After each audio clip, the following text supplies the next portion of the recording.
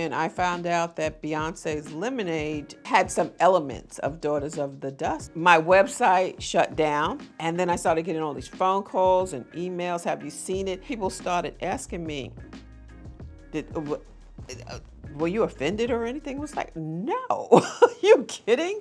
Hi, Vogue. I'm Julie Dash, and I'm here to talk to you about my film, Daughters of the Dust.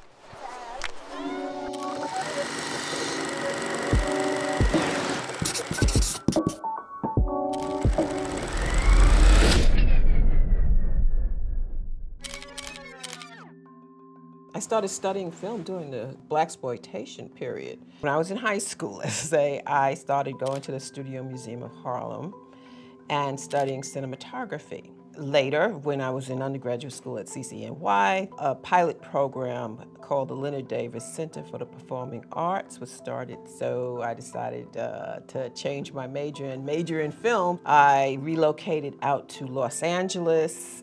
I wrote uh, and directed a film called Illusions in 1982. I did another film, short film called For Women.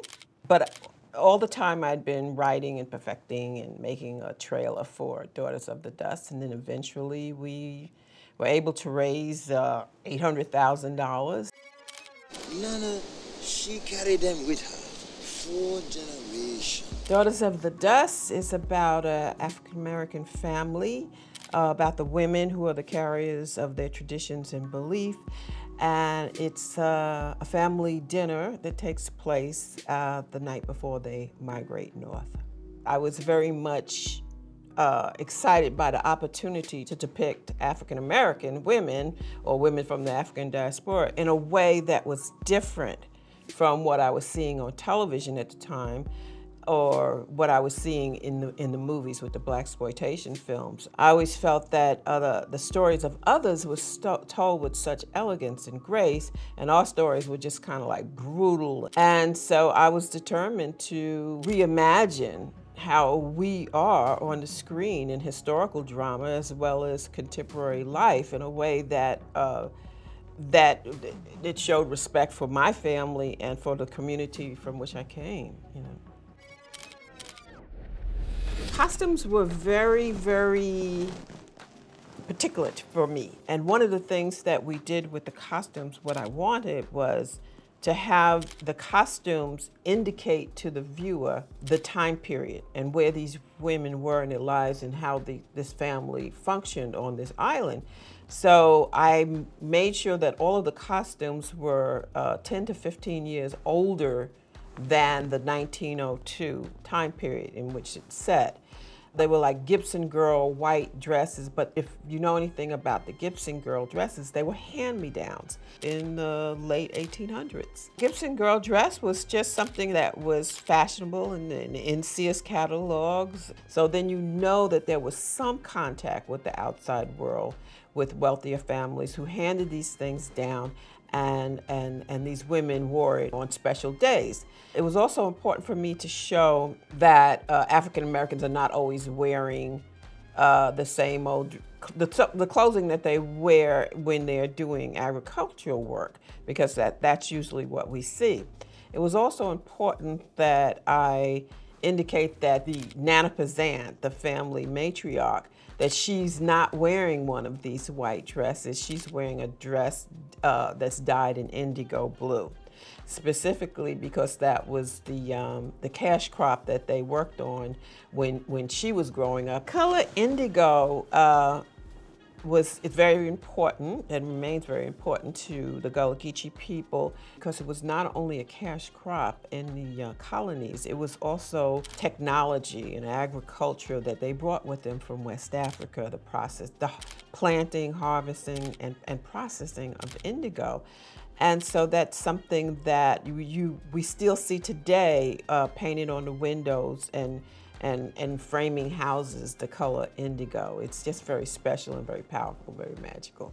The wardrobe team, um, they were fantastic. Uh, we had several things that were built in Savannah, like Yellow Mary's uh, dress was made, handmade in Savannah. The most important thing about the costumes were we had to age them because it's very difficult to shoot white on black skin tones and we didn't want that contrast out there, especially because the, uh, the sun was so bright and the sand was so bright white, and with the bright white dresses, it would have been, you know, catastrophic. So everything was like dipped in, they call it dipped in tea, but really was dipped in dye to bring down the whiteness and make it appear more aesthetically pleasing to the eye um, on the dark skin tones.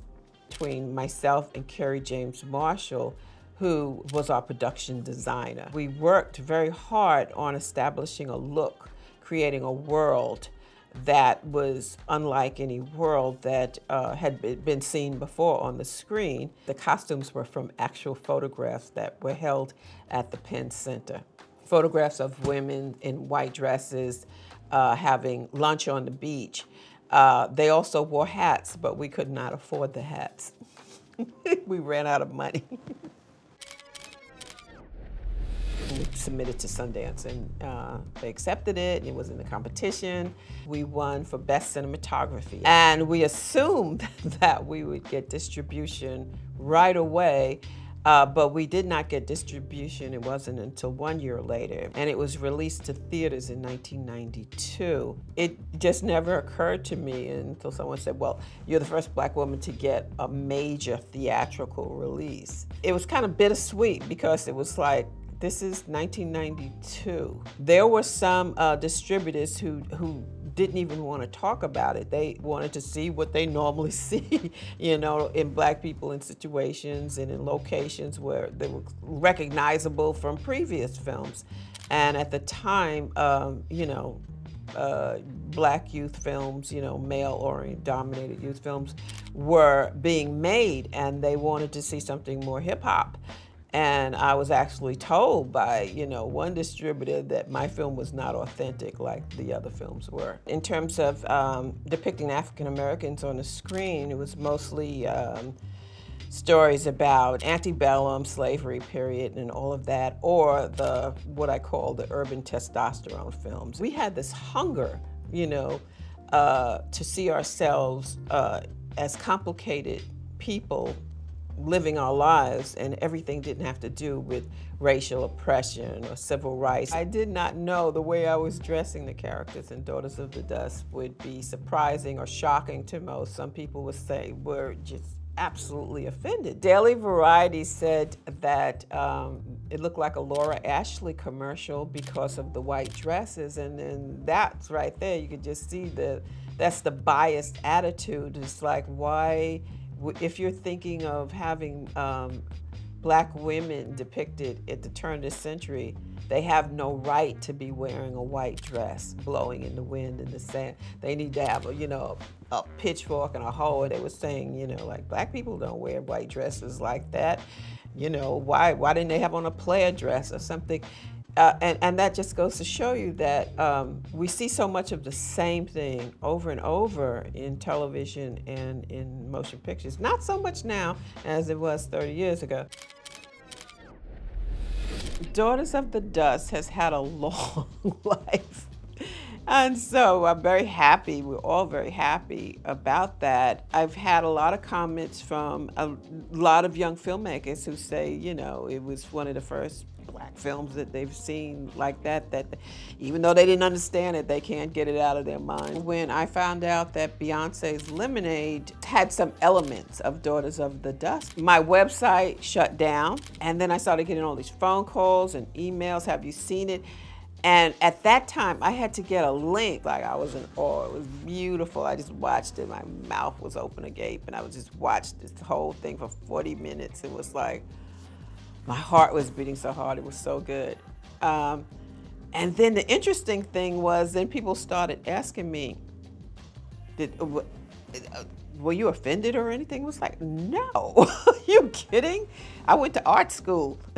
we don't get with that. We we love stuff like that. It's like you know, next generation takes your stuff and repurposes it, and that's that's the whole meaning of telling stories. There's a continuum of ideas that build uh, on projects. There's nothing that's like totally totally original. And I've told people many times that my tree scene was a homage to Ganja and Hess, with Dr. Hess is sitting there legs swinging. I've been influenced and informed by other pieces of artwork that kind of speak to that time period.